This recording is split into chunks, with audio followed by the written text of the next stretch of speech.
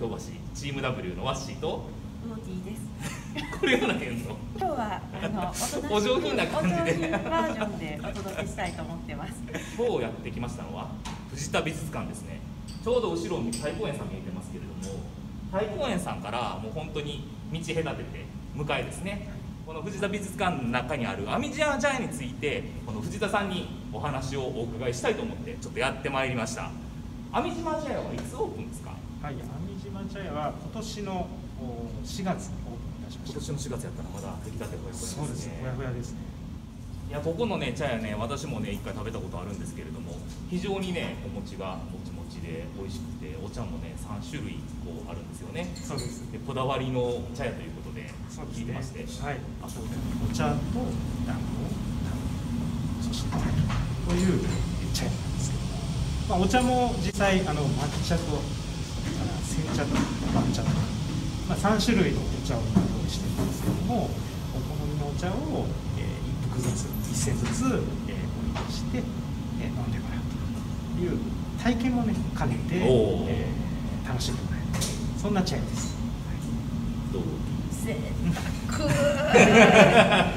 超絶贅沢です。そうですね。美術館は来年の4月、やっぱりその美術館のオープンに先駆けてこの茶屋でこう美術館にちょっと馴染んでもらおうっていうことですか？ねそうですね。やっぱりこう食で交流っていうのは生まれますもんねそうですね。今日実は食で交流ということでねあのこの京橋チーム W のゲストで一人呼んでるんですよはじめまして。ゲスト純坊さんです順坊です。あの純坊さんはねあのハバタン兵庫県のキャラクターのハバタンとか、はいピタパピタパのピタマルとかはい。のキャラクター手掛けてられてる、はい。デザインしてます。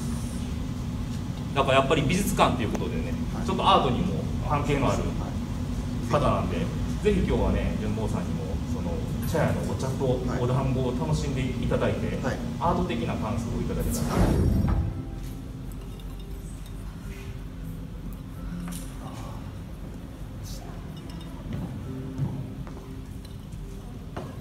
爽やかすぎますね。お団子いただきいます。ただきます。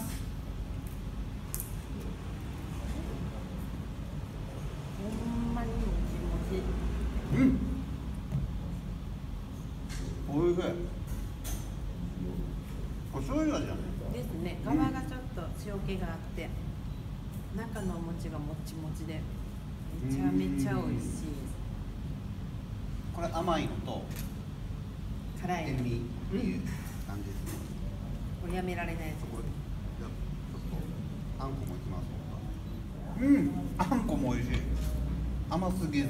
甘すぎずいただきますうん本当だうん。良質豆を使っているのが食べて一瞬でわかりますいやーここがねちょうどね藤田美術館の入り口になるんですけれどもこれがもともとの旧美術館の蔵で使ってた実際に使ってた扉をそのままここで利用してるわけですよね。でちょうどこの蔵のねここに家紋が入ってたりとか。珍しいかも珍しいですよね。ね。で藤田美術館ってもともとどういう経緯で作られたか知ってます？藤田美術館。金金持ちの方が金を 何やねん何やそれしか言ってないよ前回太公園行きましたよね。で太公園行った時にあそこは藤田男爵の邸宅やっていうお話をさせてもらったと思うんですけれども、まあ、男爵はあのもちろんここも、まあ、男爵の敷地でで向こうの藤田邸跡公園までずっと男爵の敷地が広がっててでその男爵があの資材をねこう資材でいろいろ美術品をコレクトしてたわけですよね。でもやっぱりそれは海外に流出するのを防ぐっていうやっぱ意図もあってその国内の美術品とか、まあ、海外流出しないように美術品をコレクトしてたと。その資材を、えー展示してたのが藤田美術館ですよね。ですごくクオリティ高いんですよねこの作品は。で国宝が9点重要文化財が53点と非常にいい美術館になってると思いますのでぜひねオープンした際には。足を運んでもらったら